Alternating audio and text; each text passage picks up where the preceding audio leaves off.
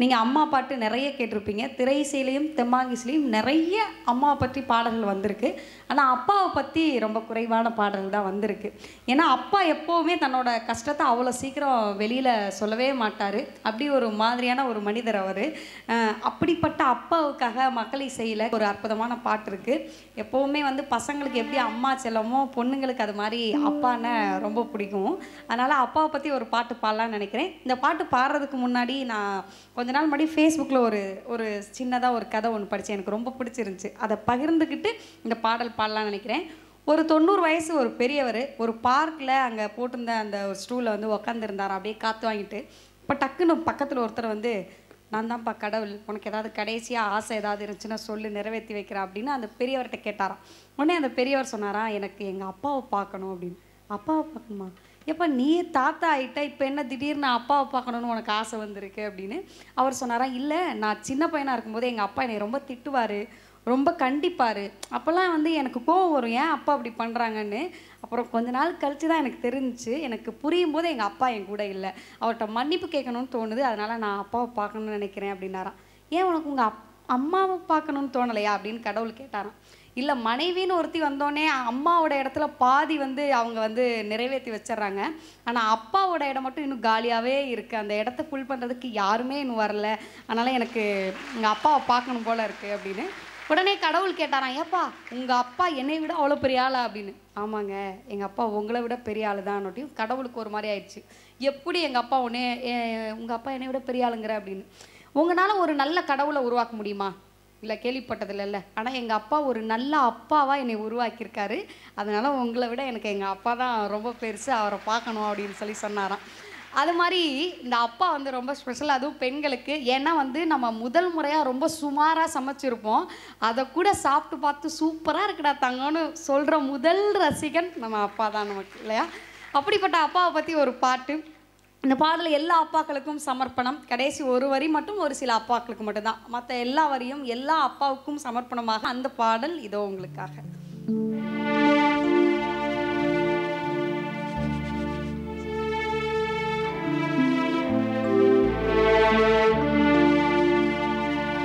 அப்பா கைய புடிச்சு நடந்தா தெரு அழகா